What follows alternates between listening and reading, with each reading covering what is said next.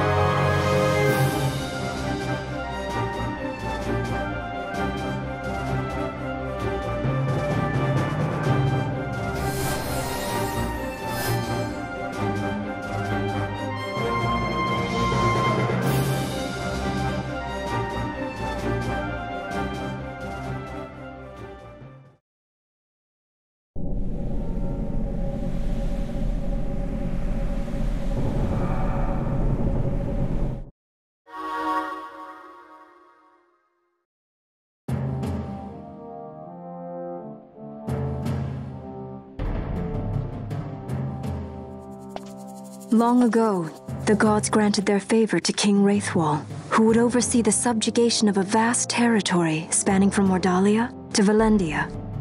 Here, he forged the Galtean Alliance.